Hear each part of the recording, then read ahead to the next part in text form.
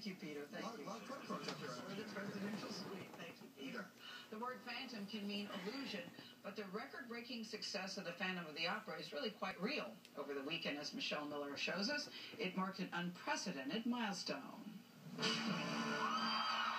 It's not every day a show celebrates 25 years on the Great White Way.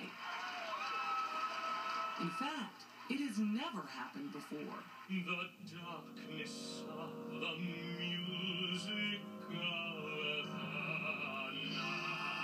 For a quarter of a century, Phantom of the Opera has been delivering the music of the night at the Majestic Theater. With more than 10,000 performances, it is by far the longest running Broadway musical of all time. None of us could have possibly known that it would end up being a long-time show on Broadway. Phantom was created in 1909 by French writer Gaston Leroux, and the character was first brought to life in a 1925 silent film. But it was the musical that really put the Phantom on the map. The show was played in 145 cities across 27 countries. And in New York alone, has grossed nearly $900 million. When the show debuted in January 1988, starring Michael Crawford and Sarah Brightman, its visual effects were considered stunning. Director Hal Prince gave us a tour, even taking us beneath the stage. Is this what most um, pits look like? No, of course not. There's usually nothing in the pit, but this show delivers a lot from the floor. Today, those effects, including the scene where a chandelier crashes to the stage, can seem almost quaint. And this is the famous chandelier. I've always hated when people describe the show as about a chandelier, because it isn't, of course. Let the dream begin. It is, at its heart, a love story, something that came as a surprise.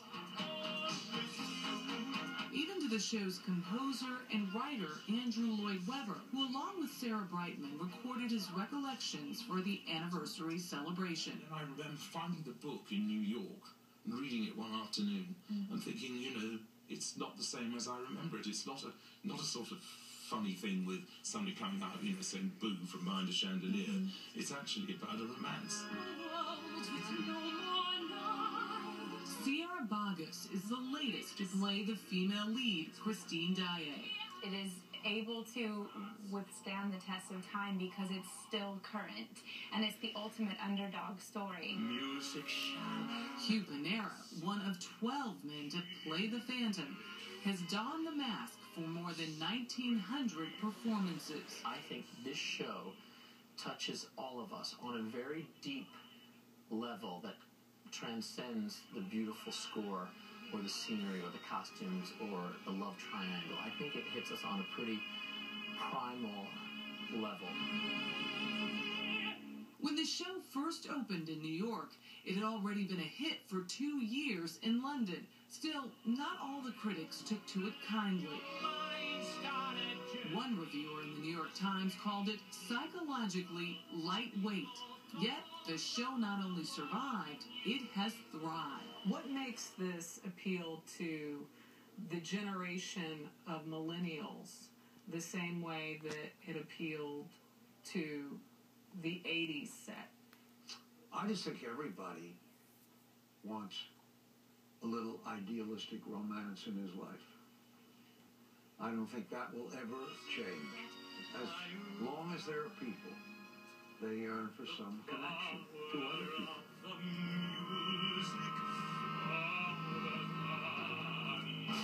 For CBS This Morning, I'm Michelle Miller in New York.